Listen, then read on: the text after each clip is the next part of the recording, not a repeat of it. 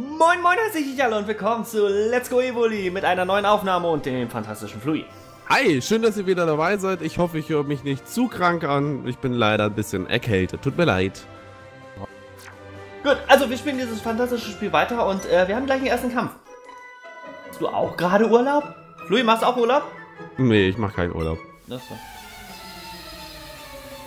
Kann mich gar nicht Urlaub. zurückerinnern, wann ich meinen letzten Urlaub gehabt hatte. Genau, Urlaub sind was für Noobs. ja.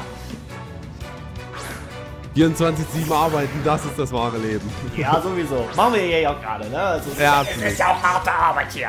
Hm, So. Wir, können besonders für theoretisch, mich. ja, wir können theoretisch wechseln, aber ich denke mal, das sollte eigentlich Raichu hinkriegen. Ich hoffe es. Ja, Knochenboomerang könnte wehtun. Achso, ich dachte, er hat so irgendwas anderes Bösesartiges, aber... Ja, Na, ey. okay, ist effektiv. Ja, gut. ich hatte so ein bisschen mehr erwartet von Raichu gerade. Naja, ich hatte ja gesagt, Raichu hat eine schlechte Defense.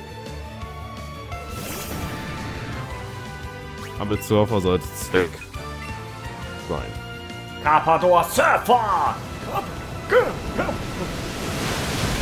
Kappador! Genau, das ist unser Carpador. Es tarnt sich nur als Garados. Genau.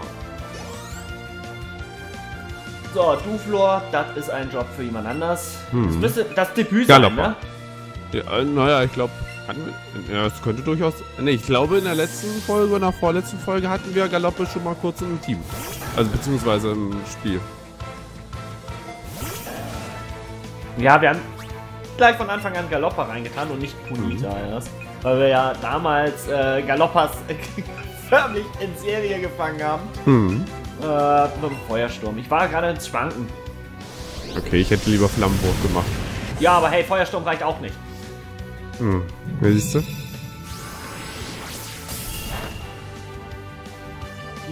Und Duflor wird jetzt ähm. Verbrutzelt. Okay. Ich wollte eigentlich ein schönes Duflo am Spieß haben, aber naja, dann halt nicht. Ach, Vielleicht du, beim nächsten Mal. Ja. So, Knuddeluff, das ist ein Job für Bolt. Das stimmt. Interessanterweise bei einer der Aufnahmen, also wenn Bolt in der Regel so etwas wie Gift-Heap einsetzt, ist es immer so gerne so, dass meine Aufnahme sagt, ne, das wollen wir nicht. Was? Weil- Ernsthaft? Ja, ernsthaft, war zweimal schon so. So, wir machen trotzdem Gift-Heap. Sagt deine Aufnahme einfach mal nö? Aber es läuft noch.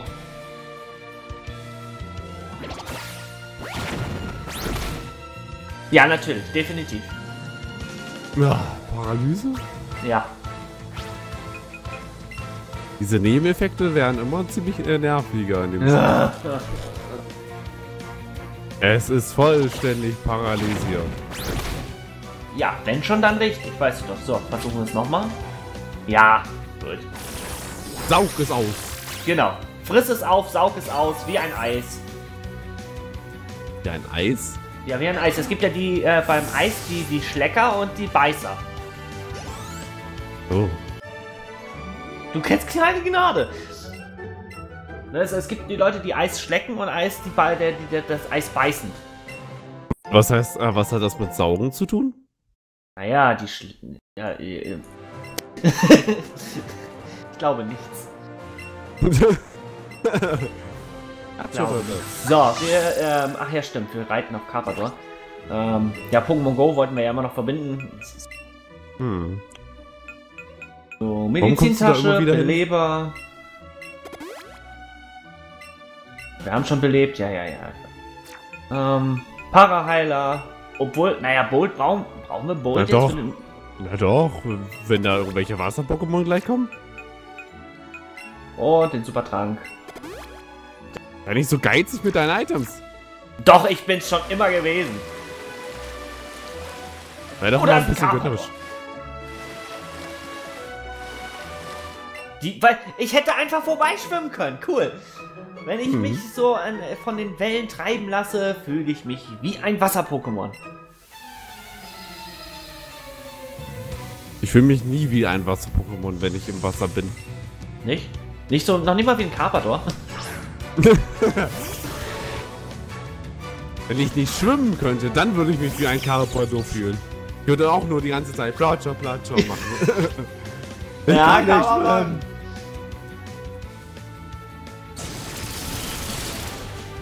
Gefühlt hatten wir aber eine Arena stärkeres, ein stärkeres Lamos, oder nicht? Wo kommt mir das so? sein. Ich glaube, das Lamos war Level es war- 44. Ja, kann durchaus sein. Ja, die Psychokinese macht natürlich sehr wenig Schaden.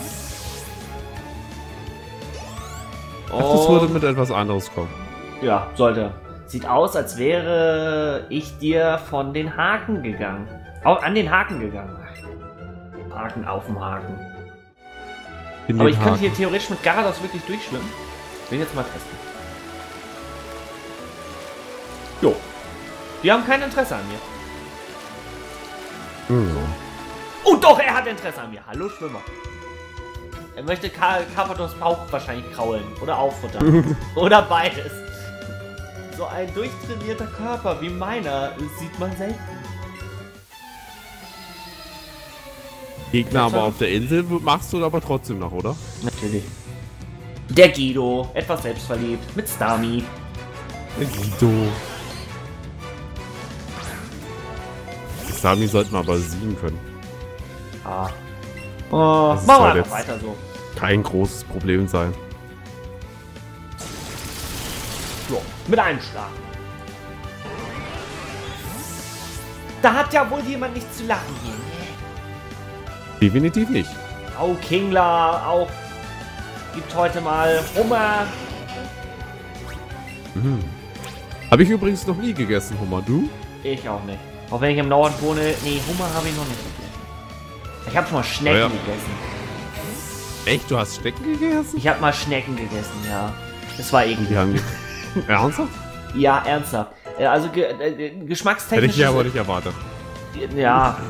Geschmackstechnisch ist das ungefähr so, als ob du, als ob du so deine Schnodder, die du da hast, äh, so hoch ziehst, dass es im Rachen runterläuft. So schmeckt es ungefähr.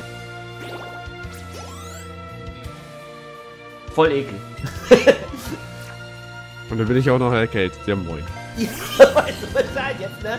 Ziehst du mal richtig kräftig hoch und weißt du, wie es sich anfühlt. Ja, lecker. Also von daher, ich empfehle es keinen da draußen. Also Schnecken, nee. Aber es ist das exotischste, was ich jemals gegessen habe. Warte mal, wo ist denn ein exotisches nicht? Ich habe Hirsch mal gegessen. Ich habe auch schon öfters Hirschgulasch gegessen. Weil Das bringen meine, äh, das nehmen meine Eltern öfters mal aus, äh, aus Polen mit. Und dann machen die daraus Hirschgulasch. Meine Großeltern haben das haben gerne mal aus, aus Norwegen und Schweden Hirsch mitgebracht. Deswegen habe ich das mal gegessen. Waschlappen. Wackelpudding. Jetzt musst du ein Wort reinwerfen. Nord? also das Exotischste, was ich schon mal gegessen habe, ist Känguru. Okay, das habe ich noch nicht gegessen. Ja, das gab's, äh, gab's immer so einen komischen Laden und da gab's äh, Känguru-Würstchen. Da dachte ich mir, okay, kann ich mal probieren. Und habe ich mal probiert. Schmeckte eigentlich gar nicht mal so schlecht. Ja. Was ich auch noch nicht, also was ich nicht bewusst gegessen habe, essen ja interessanterweise essen das ja viele heutzutage Käfer, Käfer, so Insekten und so. Ich habe letztens bei, ich habe letzt, ohne Witz, ich habe letztens bei Kaufland gesehen, da gibt es extra sogar so, so Tüten, wo Käfer drinne sind, wo so schon gegrillte äh, Käfer sind, Heuschrecken. Ja, also ich habe mal gehört, dass die, dass die eigentlich gar nicht mal so schlecht schmecken. Wein Oh. panierte, aber ich könnte das nicht ähm, essen. Nee. Das Auge ist halt oft mit, ne? Ja. Weißt du, wenn du blind wärst, wäre das mit Sicherheit in Ordnung, aber. Wenn du die Dinger da drin siehst. Ah, ey, da kommt mir, kommt mir jetzt schon was über den Rücken. Ah, Oder könntest du das essen?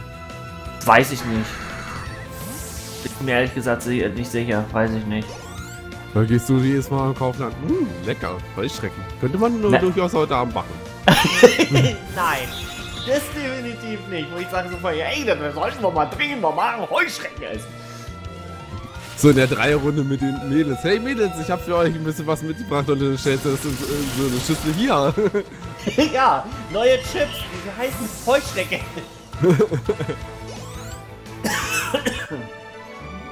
er sagt, oh nein. Ich sag, oh doch. Oh ja. Ähm, du hast ja gesagt, ich soll nicht so geizen, ne? Mhm. Die Supertränke können wir ja wenigstens noch verwenden. Ja, aber halt für andere, äh, für andere Situationen, nicht für diese, die jetzt da war. Du hättest auch zwei Supertränke verwenden können. Ja, sicherlich, aber die möchte ich eher für schwächere Sachen, wo wir einfach nur noch äh, auffüllen müssen. Schwächere Sachen? Ja, beispielsweise ja. jetzt hier, Bolt. Na, der könnte theoretisch einen Supertrank vertragen. Ach, Na? der Schwächere braucht Sachen. jetzt momentan noch nicht keinen. Also der braucht momentan noch keinen. So, ich möchte ehrlich gesagt jetzt mal mit Lapras kämpfen. Wollte ich eigentlich auch gerade schon sagen. Wir könnten echt mal mit Lapras kämpfen. Ja, ich bin von der Zinnoberinsel hergeschwommen. Das war vielleicht anstrengend. Puh. Ja, meine Schwimmgeschichte habe ich ja schon, glaube ich, hier erzählt, ne? Hm. Ähm, wer das Und nicht weiß, auch. der soll ein bisschen zurückblättern. So ein paar Teile zurück, da habe ich meine Schwimmgeschichte erzählt, was mit meinem Abblättern. Ja, theoretisch zurückblättern. Ähm, weil du kannst ja, äh, kannst ja bei der Playlist, wenn du auf eine Playlist gegangen bist und die Videos ja nach und nach anguckst, kannst du ja zurückgehen. Ne? Mhm. So, ich, definitiv ist das die falsche Entscheidung. Ähm, hm. Ja, da sollten wir lieber wechseln. Ich nehme mal Fluid. Genau, nimm Fluid. Errege das. Deine Schwimmgeschichte, haben wir, haben wir die hier analysiert? Ich weiß nicht. Glaub. Ja, die haben wir analysiert. Könntest du ja natürlich auch mal wieder zurückblättern. Ja, muss ich auch noch mal zurückblättern. Immer diese Kurzzeitgeschichten, ey. ähm, ja. Also, wer das ganze Let's Play bislang verfolgt hat, der wird sagen so von wegen, natürlich, warum erzählt ihr beiden das nicht nochmal? Ich sag dazu, nein, Blätter zurück. genau, Blätter zurück. Aber Evoli kann ganz schön aushalten. Volltreffer hm. und das bringt fast gar nichts. Evoli ist auch Level 50. Jo. Früher bei Der kann auch schon... Der kann auch schon einiges aushalten. Ja, früher bei Pokémon Stadium war Level 50 so das, der magische Moment, wo du als Trainer sagst, so von wegen, okay, jetzt darf ich mein Pokémon zwar noch trainieren, Level 51, aber danach sollte ich es damit sein lassen. Weil dann sonst ich später Probleme kriege. Wer Pokémon Stadium nicht kennt, das war ein Spiel auf der N64, wo du äh, deine eigenen Pokémon sozusagen gegen andere Pokémon antreten lassen konntest, vom CPU zum Beispiel, und da gab es bestimmte Cups. Äh, sie sagt, was für eine Enttäuschung. Definitiv. Ähm, und da gab es zum Beispiel einen Cup, der äh, das war so, dass du ähm, da Pokémon zwischen Level 50 und 55 einsetzen durftest. Und deine drei Teammitglieder zusammen ein Level haben, also zusammen ein Level haben dürfen von 155 Maximum. Das heißt also, wenn du beispielsweise drei Kämpfer hattest, die Level 52 waren, hast du zusammengerechnet ein Level von 156, was bedeutet, du darfst mit diesem Pokémon-Team nicht antreten. Das ist natürlich doof. Ja, deswegen musstest du manchmal auch taktisch vorgehen, sagen so von wegen, okay, zum Beispiel mein äh, Glurak möchte ich jetzt äh, ein bisschen ähm, trainieren, ne? Level 55. Und äh, die anderen kriegen dann nur Level 50. Na, ne? konntest du dann theoretisch dein Glurak benutzen und die anderen beispielsweise, ähm, ja, wie nennen wir mal, ich, wir nehmen mal hier zum Beispiel aus, Austausch in Level 50 und Lapras in Level 50 mitnehmen. Hm. So, und dementsprechend war ich dann immer so, so daran angehalten zu sagen, so von wegen, ja, Mensch, hm, Level 50, hm, sollte ich jetzt entweder aus dem Team nehmen oder nicht mehr einsetzen. Ne? Weil vorher war das ja auch so, dass diese EP-Teiler, die es ja heutzutage irgendwie überall als Standardversion gibt, damals ja nicht so gab. Mhm. Willst weiterkämpfen, ja? Ah, sollte ich nicht, oder? Ah, okay. Ja, doch. Jetzt macht der Drachenpuls auch wenigstens guten Schaden. Ich wollte ihn halt vorher nur paralysieren. Mehr ist es nicht. So. ja, das war der Plan. Was war ein Plan? Ich hatte einen Plan! Und der Plan hat perfekt funktioniert. Hm. Level hey. 39. der Bolt erreicht Level 47 und Raichu levelt 45. Und die Schönheit Cassandra hat verloren und sie sagt, oh nein, meine Perle steckt doch noch in meinem Austos. Solange es bewusstlos ist, kriege ich sie da nie raus. Ja, Jetzt wissen wir. Pokémon sind nicht tot, wenn sie besiegt sind, sondern nur bewusstlos. Das war auch schon vorher klar. Ja, das, ja, aber das Spiel hat das jetzt nochmal äh, detailliert erklärt. Da ist ein Carpador. Guck, das Carpador möchte da hinten. Noch ein Carpador. Hier alles hier ultra viele Carpadors. Schönen guten Tag. Muss man Was in. Was in letzter Zeit total angesagt ist, Pokémon zu tauschen natürlich. Louis, wollen wir Pokémon tauschen? Gerne. Denkst du mir dein Pokémon-Spiel? Ähm, Dann können wir tauschen. ja gut, Geowatz. Wir haben tolleres Geowatz, aber das ist leider nicht dabei. Lapras schafft das schon. Klar, jetzt schaffst Labras einen Surfer oder so und dann ist es Ja, weg. sechs Level Unterschied, aber das sollte trotzdem kein Problem sein. Hm. Ist ja auch eine sehr effektive Attacke. Ist, äh, müsste sogar vierfach effektiv sein, also von daher. Und das war auch noch ein Volltreffer. Ich glaube, ich weiß gar nicht, ob der. Ich glaube, der. Ich glaube auch ohne den Quitch hätte gereicht. Labras hat eine sehr gute. Ähm, hat sehr gute Statuswerte, von daher. So, bin, Pinsia.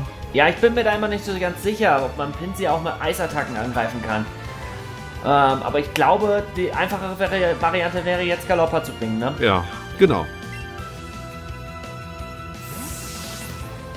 Ihr da draußen nichts sagen, natürlich kann man Pinsy mit einem Eisstrahl besiegen. Also ich weiß, dass er in seiner Megaform äh, Flug ist und deswegen wäre es sehr effektiver. Ich weiß gar nicht, wie es in seiner Baseform ist. Ähm, nee, Eis ist tatsächlich gar nicht effektiv. Also ist nur normal effektiv. Ja, Galoppa ist Das- so gut wie besiegt. Das ist schlecht. Mach mal einen Hyper Drenki Denki. Ich habe jetzt Risiko gemacht. Okay, wir waren schneller. Gut, das habe ich Ja. jetzt natürlich deswegen mitbekommen.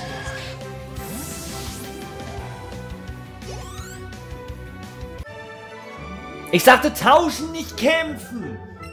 Ja. Ich sag auch vieles und am Abschluss machen die anderen das anders. Hm. Das stimmt allerdings. Aber Ja. du, du, sag, äh, du, äh, wenn du etwas sagst, dann hältst du es zumindest im Gegensatz zu anderen Personen. Ja, wir wollen keine hier nennen. Wir haben sie hier des Öfteren schon genannt. Ja. Und verarscht. Ich glaube, er hat kein einziges Video mehr danach geguckt. Ich glaube, er ist angepisst gewesen von uns. Im Westteil des, der Zinnober-Insel gibt es ein Labor. Mein Vater arbeitet da. Nein. Oh. Krass. Falls er doch da sein sollte, darf er jetzt gerne in den Kommentaren. Von wegen, ich Okay. sehe es doch. Ich weiß, wer von wem ihr redet. Natürlich von Blooper Guy. Herzlich gegrüßt von mir. Nein, von der Suchti-Sorten. Ah, von Hallo, Suzuki Son. Son. Auch der ist gegrüßt von hier. Ja, der war, äh, der war gestern im Stream dabei, hat dich vermisst. ja. Ja, diese ganz Traurigkeit, ja.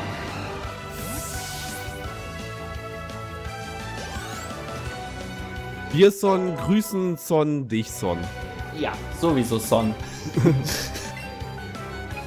Ach ja, Galoppa ist so gut wie weg. Ähm, ähm, ähm. Hm. Trotzdem Risiko mit Galoppa? Wer kommt da jetzt? äh? Rossana. Ähm, nee, setz Flui, wir haben doch Doppelkick.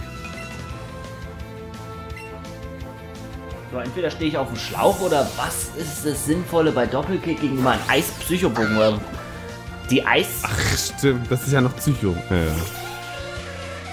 Ach, müsste trotzdem normal effektiv machen. Mach äh, trotzdem mal, wie viel Schaden das macht. Ja, ist okay. Zweimal und dann ist er weg. Aber er setzt Todeskuss. Ja, sind wir jetzt verwirrt, aber egal. Nein, wir schlafen. Ach ja, stimmt. Es gibt so viele Küsse in dem Spiel. Es gibt nämlich Bitterkuss und das verwirrt einen. So, dem Aufwecker, dafür haben wir sie. Sollten wir neue kaufen? Eventuell schon.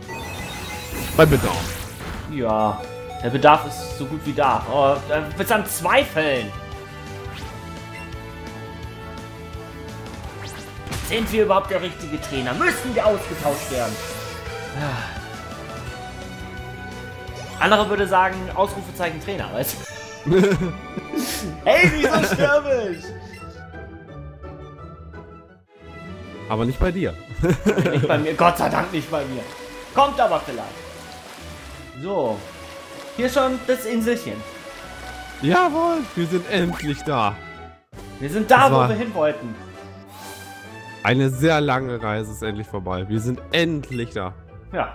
Für den Fall der Fälle sollte man, sollte man jede, immer jede Menge Items mit sich tragen. Bei sich tragen, mit sich tragen. Wir wollen verkaufen.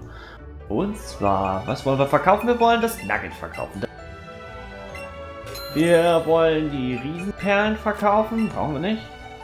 Die Prachtfedern. Prachtfeder brauchen wir nicht. Oh, wir haben nur zwei Herzschutz? Das ist schon wenig. Ja, aber hey. Also ich dachte mir schon, du willst jetzt die Herzschuppen verkaufen. Äh, nein. so, äh, 5 Aufwecker. Nicht 99. Nicht 999. 999 Aufwecker. Jetzt kann jedes Pokémon einschlafen. Aber ich habe einen Aufwecker dabei. Definitiv. Man weiß ja nie. So, Paraheiler. Einen kaufen wir. Ähm, brauchen wir sonst noch das was? Reicht. Oder? Okay. Ich hätte jetzt noch überlegt, wegen ein paar. Ja, mittlerweile können wir Top-Tränke kaufen. Ähm, Wie viele Hyper-Tränke haben wir dabei? Ich glaube 19, ne? ja, war 18 haben wir. Gut. Reicht. Bin wunschlos glücklich. Weißt du, was das heißt? Die Folge ist für heute vorbei, wenn du wunschlos glücklich bist. Nein! So wunschlos glücklich bin ich ja nun auch wieder nicht. Äh, das heißt, wir sehen uns nächstes Mal erst wieder. Wann auch immer das nächste Mal erst wieder ist. Äh, man, man weiß ja nie heutzutage mehr, ne? Das kann ja immer Ja. sein, das kann nachher sein, das kann erst in der Woche sein. Wer weiß, wer weiß. das kann auch in zwei Jahren sein. Ja, vielleicht guckt ihr den nächsten Teil überhaupt nicht, weil ihr keinen Bock mehr auf uns beiden habt. Äh, Doch, wenn ihr auf uns beiden Bock trotzdem Bock, Bock haben solltet, ne? Flui ist äh, unten verlinkt, sein Kanal, könnt ihr vorbeischauen. Und wir sehen uns nächstes Mal wieder, wenn ihr mögt. Schaltlein, bis dann und ciao. Ciao.